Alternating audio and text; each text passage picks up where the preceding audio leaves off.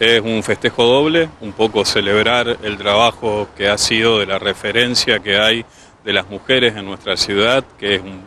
las mujeres, las trabajadoras de Silsa, que han quedado una marca eh, indeleble dentro de la historia del trabajo de las mujeres. Es un referente y bueno, y por eso decidimos seguir celebrando este mes de reconocimiento a las mujeres, de celebración, eh, de dignidad del trabajo fundamental que hacen y lo decidimos desde la Intendencia de que sea el puntapié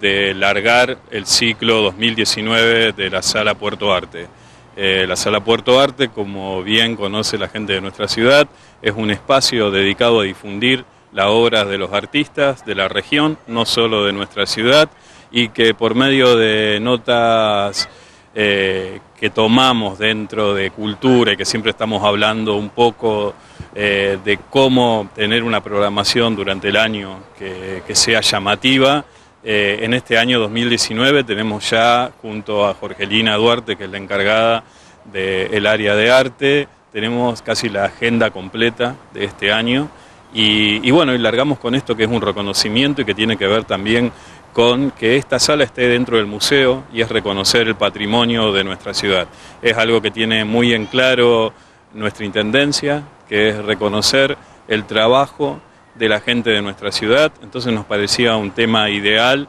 para que este jueves 28, a partir de las 19 horas, la gente se acerque a la sala, va a acompañar el reconocimiento de estas mujeres. Eh, vamos a tener un poco de música, vamos a tener un material increíble, realmente estamos sorprendidos de cómo la gente eh, acercó material y es un poco reconstituir eh, la historia de lo que fue este espacio de la ciudad de trabajo, como fue una fábrica de telas, pero que evidentemente fue mucho más que esa impronta, digamos, simbolizó eh, lo que fue un momento de nuestra ciudad, lo que fueron las industrias textiles, la conexión de nuestra ciudad, del país y el extranjero. Así que realmente es una muestra para que se visite en este jueves y que después va a estar expuesta durante un mes, la gente va a poder en los horarios del museo poder recorrerla y venir a, hablar un poco con Silvana, que es la encargada del museo, la gente viene, pasea y le pregunta y descubre mucho de la historia, de nuestra historia.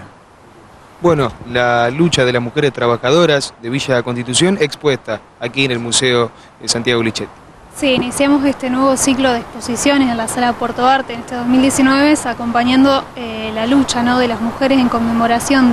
del Día Internacional de la Mujer que,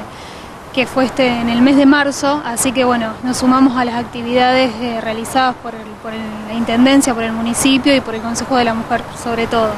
Eh, se van a encontrar con una muestra con un montón de objetos, es más que nada una recopilación de, objetos, de datos, de archivos, de imágenes